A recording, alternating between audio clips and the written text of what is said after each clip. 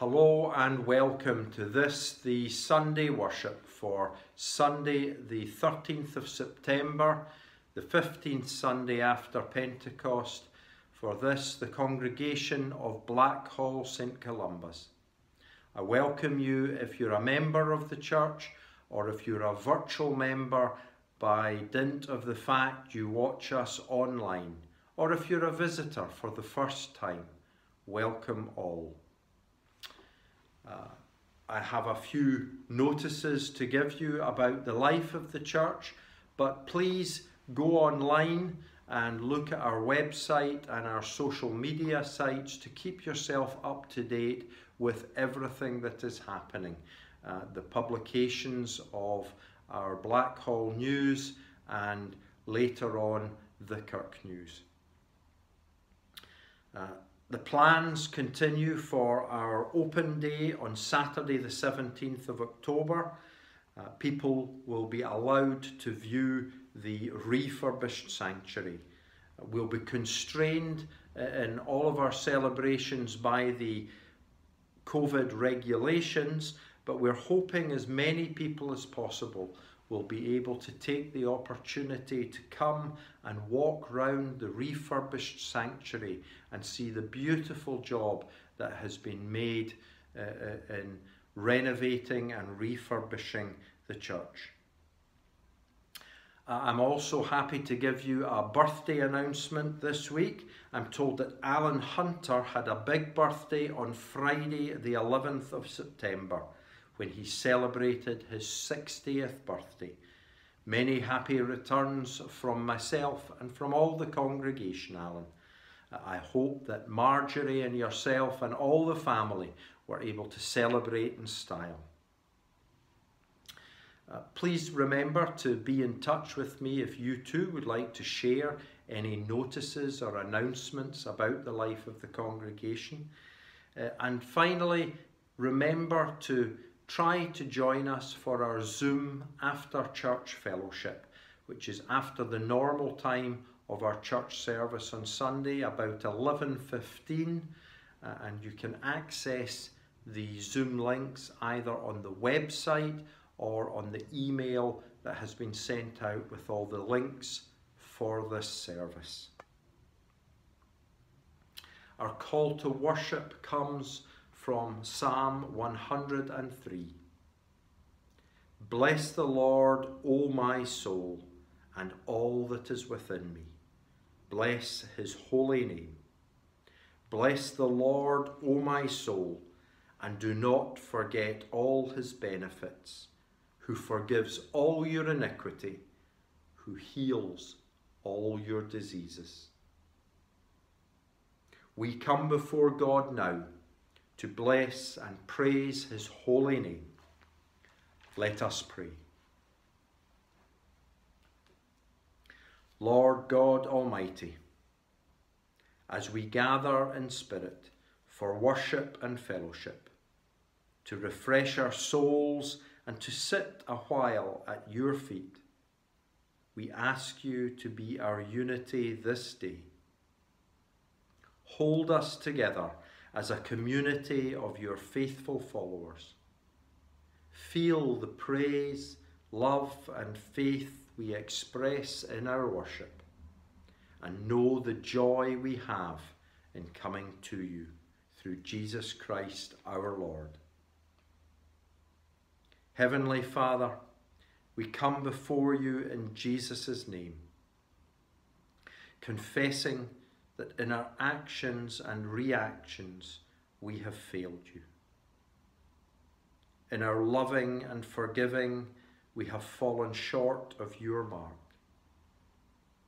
In our believing and trusting, we have denied your grace and power. In silence, we lay before you the specific sins which are clouding our relationship with you just now.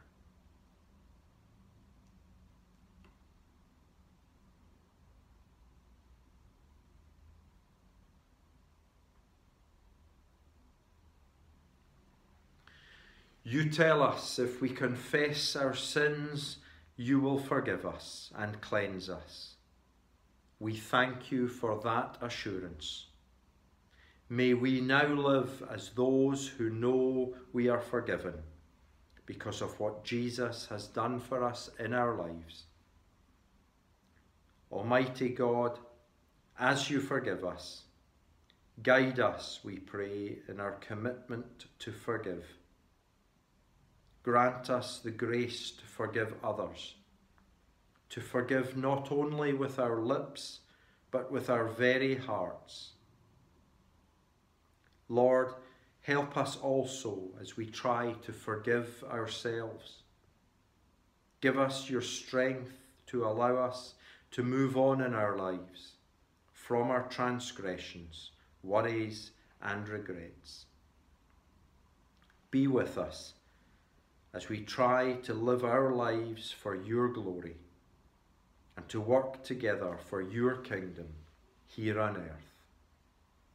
All this we pray in the name of your Son, Jesus Christ, who shared with us your gospel message of forgiveness and gave his life that we might live. Amen. I'm now going to invite Shona to come and give us our scripture reading for today.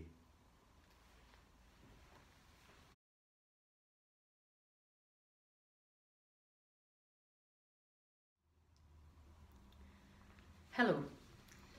Our Bible reading today is from Matthew chapter 18, reading from verses 21 to 35. As always, I'll be reading from the New Revised Edition. Matthew chapter 18, starting at verse 21, which is entitled Forgiveness. Then Peter came and said to him, Lord, if another member of the church sins against me, how often should I forgive? As many as seven times? Jesus said to him, Not even seven times, but I tell you, seventy seven times. The parable of the unforgiving servant. For this reason, the kingdom of heaven may be compared to a king who wished to settle accounts with his slaves. When he began the reckoning, one who owed him 10,000 talents was brought to him. And as he could not pay, his lord ordered him to be sold, together with his wife and children and all his possessions, and payment to be made. So the slave fell on his knees before him, saying, Have patience with me, and I will pay you everything. And out of pity for him, the lord of that slave released him and forgave him the debt. But that same slave, as he went out, came upon one of his fellow slaves who owed him a hundred denarii. And seizing him by the throat, he said, Pay what you owe. Then his fellow slave fell down and pleaded with him, Have patience with me, and I will pay you. But he refused. Then he went and threw him into prison until he would pay the debt. When his fellow slaves saw what had happened, they were greatly distressed, and they went and reported to their lord all that had taken place. Then his lord summoned him and said to him, You wicked slave, I forgave you all that debt because you pleaded with me. Should you not have had mercy on your fellow slave as I had mercy on you? And in anger, his lord handed him over to be tortured until he would pay his entire debt. So my heavenly Father will also do to every one of you if you do not forgive your brother or sister from your heart. Amen. Thank you, Shona. In the name of the Father, and the Son, and the Holy Spirit. Amen. Our passage today deals with a topic that, that is massive for all people, but is of particular significance to Christians forgiveness. There is so much to think about regarding this topic that it could, and indeed I'm sure it will, be the subject of many sermons. But in order that I'm still not speaking well after you're all wanting to have your lunch, I will focus today on the narrow aspect of the question asked, which is about quantity. The passage today begins with a question asked by Peter Lord, if another member of the church sins against me, how often should I forgive? Now, now, the immediate narrative context of Peter's question is contained in what we reflected on last week Jesus' words and direction about confronting disagreements in the community. We reflected last week that we should guard against the process being the focus of our attention rather than the values of love underwriting it. In addition, we noted how easy it might be to manipulate Jesus' teachings here, to use Jesus' words to unfairly confront someone we disagree with. It is, as I said, important to use Jesus' words for the protection of the vulnerable without either inappropriately excusing or shaming another person. So, here in today's passage, Peter asks about what limits we should place on our forgiveness for one another. Peter begins by offering what he clearly feels is a generous number, as many as seven times. Numbers in the Bible often have a wider significance. A number of people have speculated on whether or not Peter's use of the number seven has any special significance here.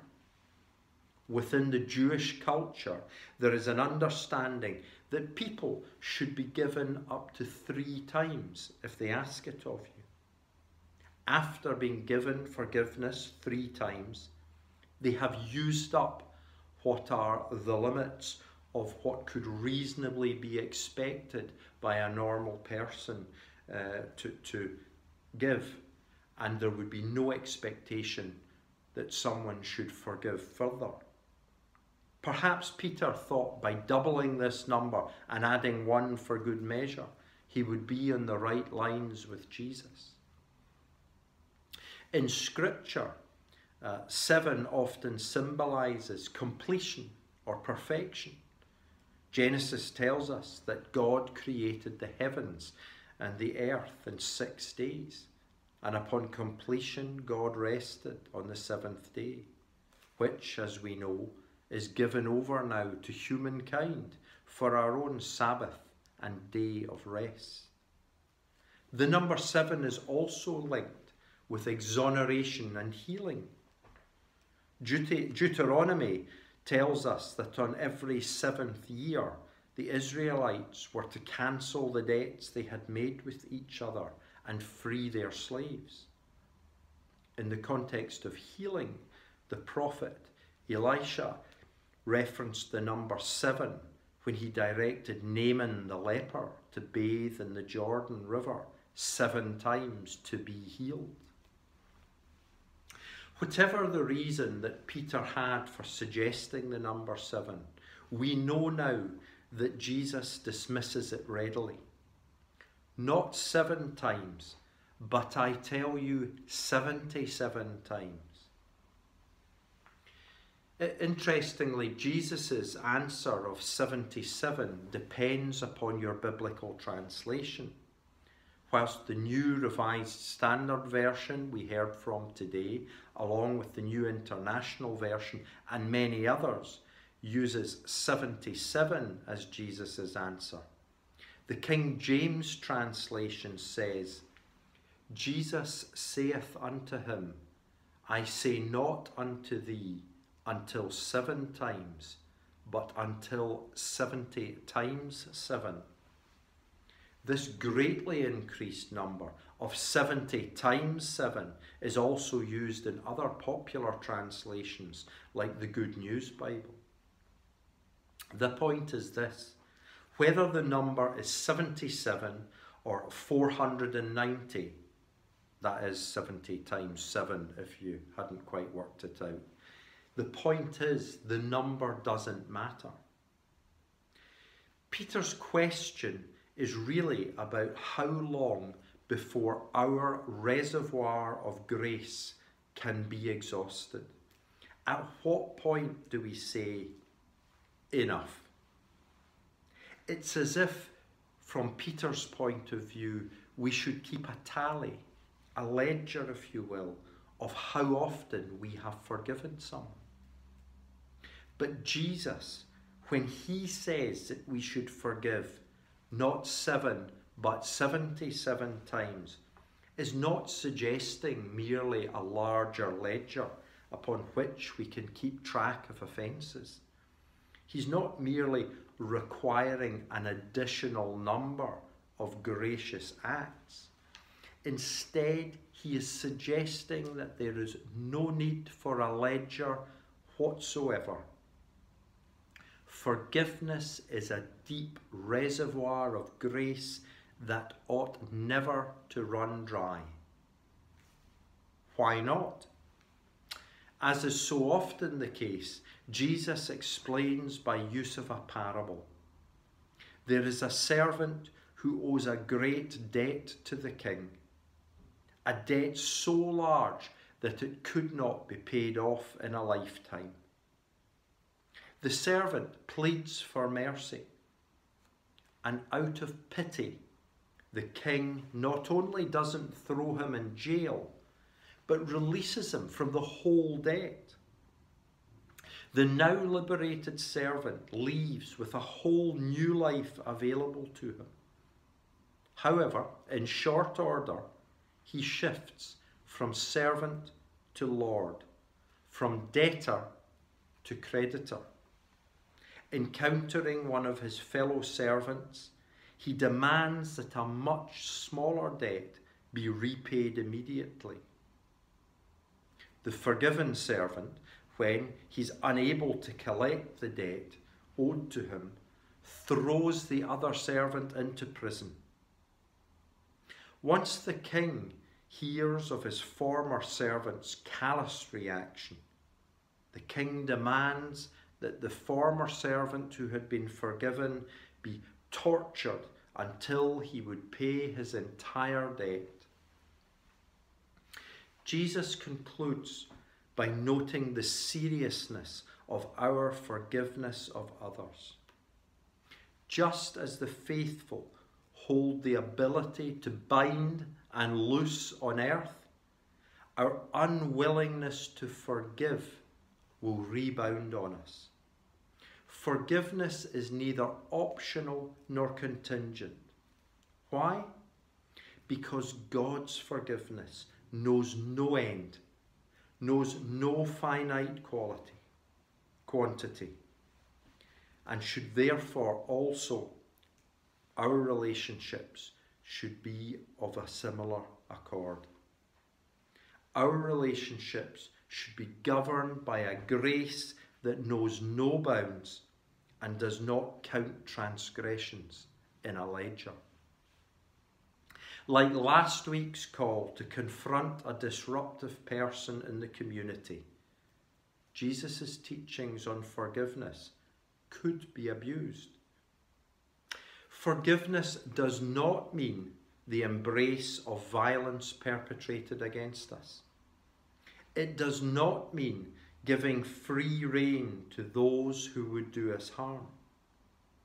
It does not mean a ready acquiescence to those who are stronger than us.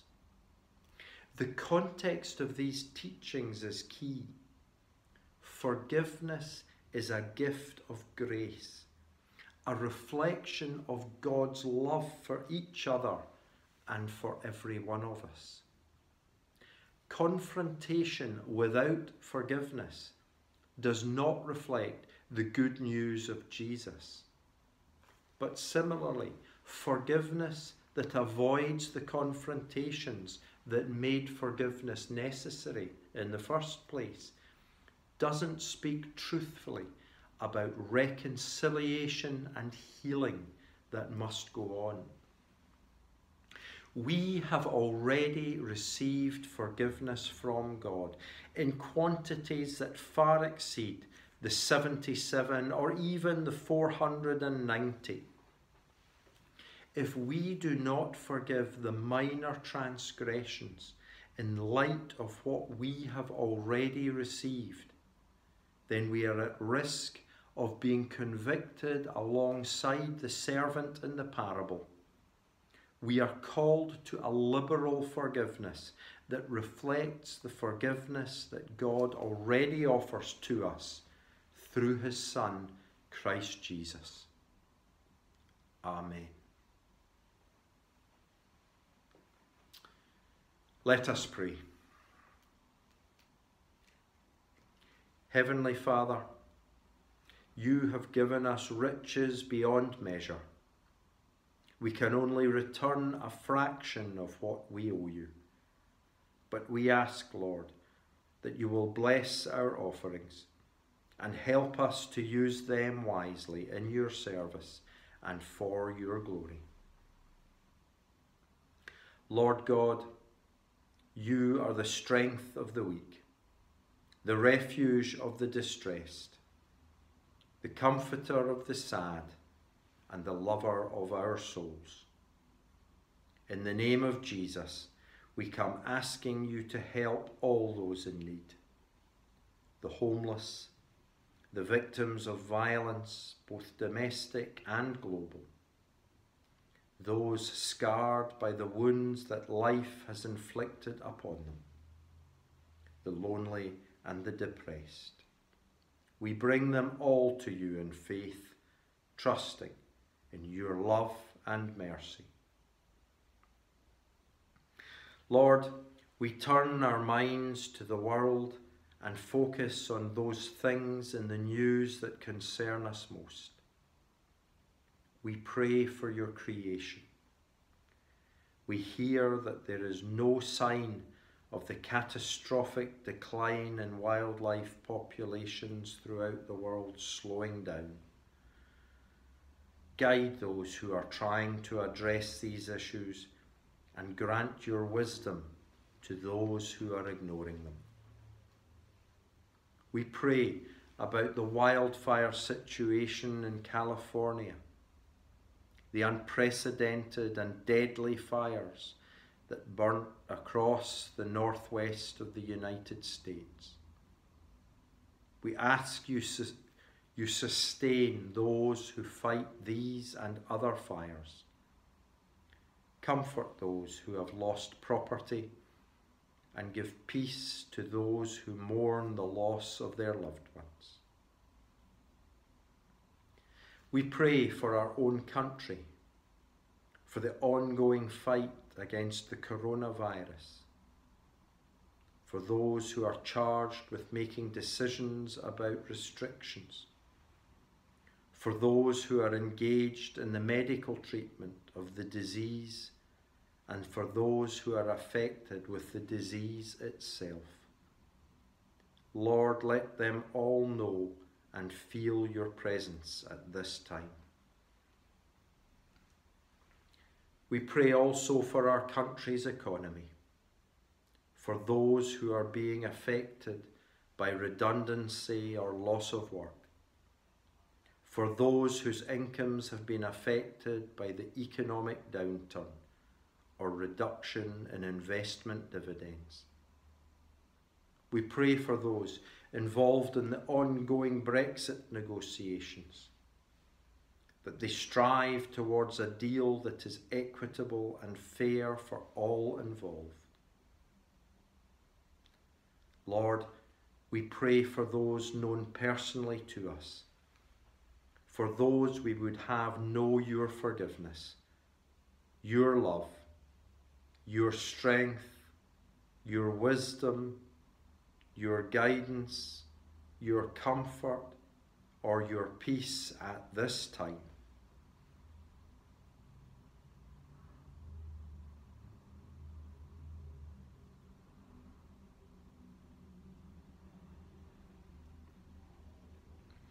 We ask this in the name of your Son, Jesus Christ, taught us to come together in praying, saying, Our Father, who art in heaven, hallowed be thy name. Thy kingdom come, thy will be done on earth as it is in heaven.